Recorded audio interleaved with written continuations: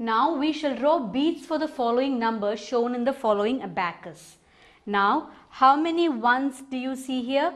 Three ones. So we'll draw three beads. One, two, three. How many in the tens? Seven. So we'll draw seven beads.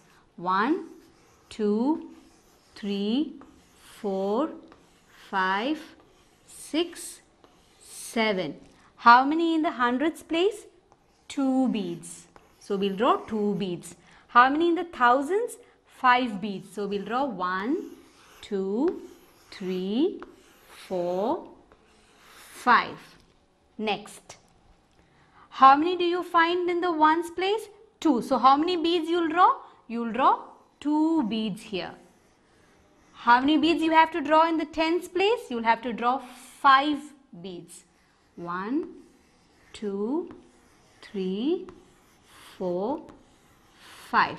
How many beads in the hundreds place? Just one.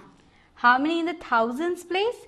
Eight beads. One, two, three, four, five, six, seven, and eight. Now the next sum. How many do you find in the four in the ones place? Four. So how many beads you'll draw? You'll draw four beads. One, two, three, and a four.